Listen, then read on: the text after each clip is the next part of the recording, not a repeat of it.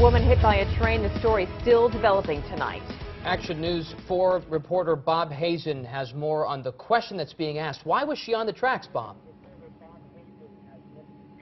Yeah, we are in Tarentum, and this is a fairly busy part of town. There are bars and restaurants on either side of the tracks, and that train has been sitting right there between 5th and 6th Avenues for several hours now as investigators try to figure out exactly what did happen. Now, that train has been there since a little after 8 o'clock tonight. Police tell us the victim is a 34-year-old woman who was by herself walking near the tracks. She was close to the intersection of Corbet Street and East 5th Avenue here in Tarentum when police say it appears she walked onto the tracks and was hit by the train. Authorities can't say what might have led up to her stepping into the train's path, but somehow this woman did survive the impact and police tell us medics had to work fast to get her to a hospital.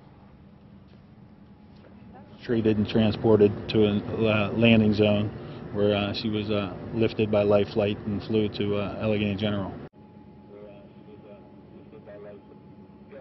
Tarentum police have turned this investigation over to Allegheny County's homicide squad, but right now still no word on why this accident might have happened.